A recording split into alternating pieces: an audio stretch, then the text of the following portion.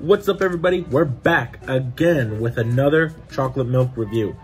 This one is coming from a store brand that we don't have, well, I don't have in my territory. So when I was down here, I had to get it. This is Publix low fat 1% milk, chocolate milk. Can't forget that it's chocolate milk.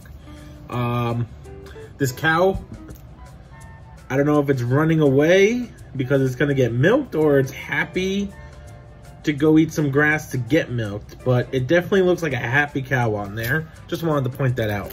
So let's give it a shake and see what it's all about.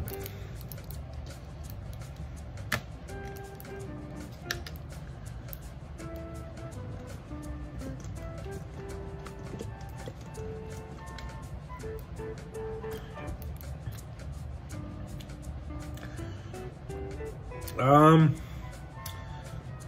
I'm not really feeling it.